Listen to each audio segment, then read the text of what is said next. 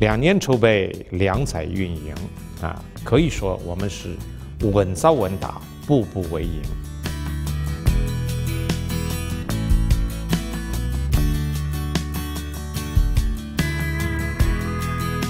中国作为最大股东，言必行，行必果。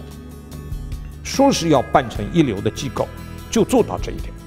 所以呢，我想，中国人民都应该为此感到自豪，因为这是世界上第一个由一个发展中国家倡议，并且有发展中国家作为大股东的一个具有全球性影响的银行。